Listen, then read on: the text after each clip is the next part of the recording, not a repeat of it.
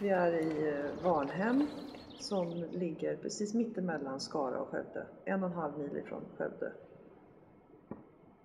Det här är ju en av de eh, centrala delarna av eh, Västergötland med en väldigt lång historia. Så här har det bott människor alltså 10 000 år tillbaka i tiden. Ehm, och just där vi befinner oss i Varnhem så finns det väldigt mycket fornlämningar, alltså rester efter äldre tiders eh, människor och brukande av jorden. Det är mycket gamla gravar och det finns boplatser från eh, alltså stenålder och järnålder och framåt. Så det här är en plats som alltid har varit eh, bebyggd och använd av människor. Och det som man ser idag framförallt det är ju den här stora klosterkyrkan och klosterruinen från 1100-talet som väldigt många besökare, turister kommer hit för att titta på. Så förutom att det bor ganska mycket människor här och det pågår ett intensivt jordbruk runt omkring så är det också en, eh, en plats som många turister besöker.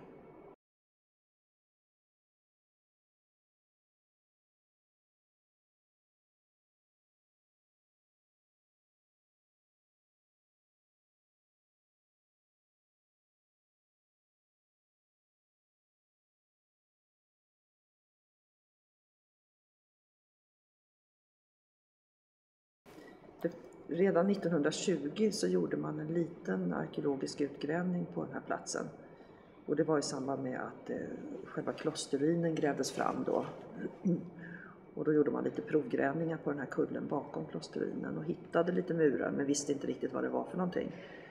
Och sen 2005 så tänkte vi på Västergötlands museum att vi skulle starta en eh, sån här publik arkeologisk utgrävning där besökare och turister skulle få komma och titta på hur en utgrävning går till och vad man kan få fram av att gräva i backen. Och då tänkte vi att den här platsen i Varnhem är väldigt spännande. Det skulle vi vilja veta mer om. Så då började vi med en liten provgrävning hösten 2005 i september. Och då fick vi fram de här murarna som man hade sett 1920. Men vi frilade alltihopa och såg då att det var en, eh, en liten kyrkogrund, alltså grundstenar till en kyrka som hade stått här. Och då tyckte vi att det var så himla intressant så att vi beslöt att fortsätta utgrävningarna nästa år då, 2006 och göra det lite större. Så att eh, på den vägen är det. Vi började gräva och vi började också undersöka både kyrkogrunden men också kyrkogården runt omkring. Och så letade vi efter spår efter själva gården där människorna hade bott. Och då fick vi fram jättemycket spännande resultat.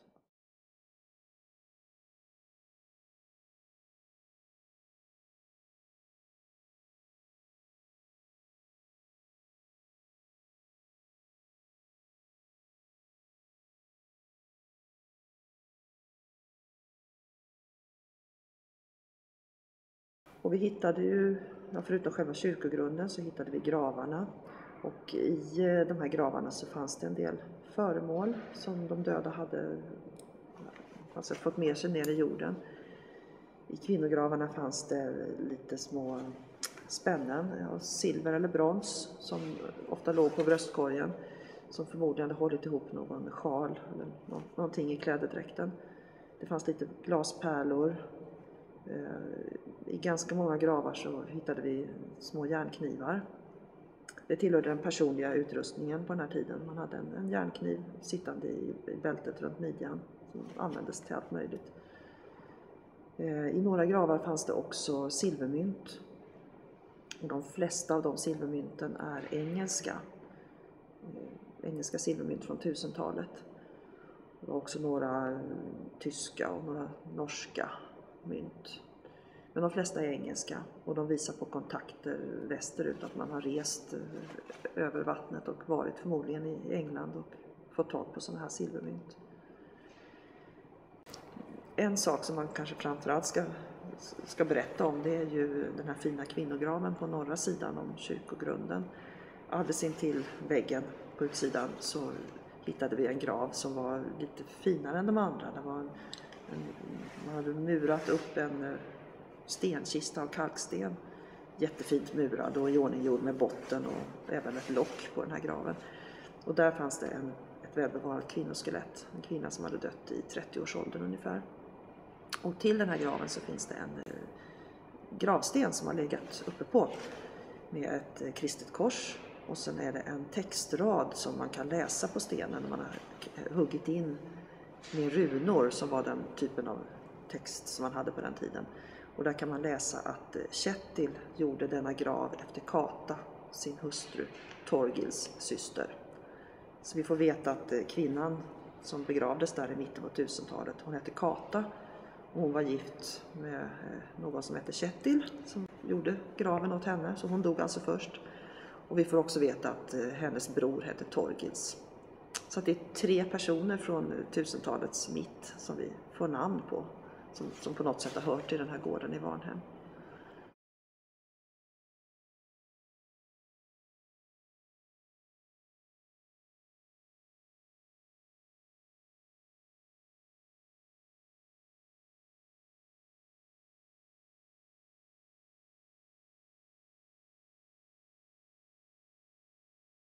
Vi hade Eh, det här är ju några år sedan så det här med sociala medier var inte riktigt så stort som det är idag. Men vi, vi hade ändå en hemsida, vi skrev dagbok på nätet och vi hade väldigt mycket pressvisningar.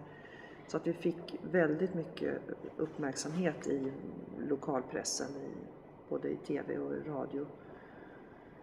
Eh, så att vi nådde ut ganska bra med våra resultat. Och det gjorde ju också att vi fick mycket besökare som i sin tur berättade om det här och så kom, kom det andra besökare. Så det spreds väldigt, väldigt bra. Vi fick väldigt bra gensvar ifrån pressen.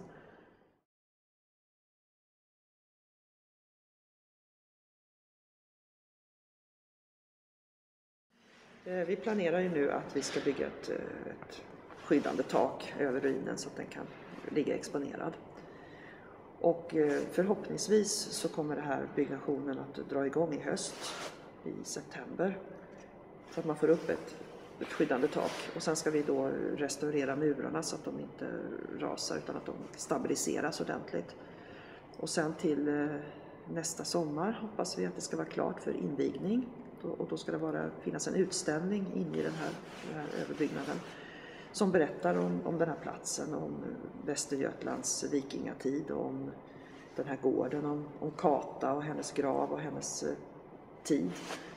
Och munkarna när de kommer och fru Sigrid som ägde gården. Alltså de här olika berättelserna och historierna som finns kring den här platsen ska vi försöka då att eh, få fram och förmedla i den här byggnaden som en utställningslokal.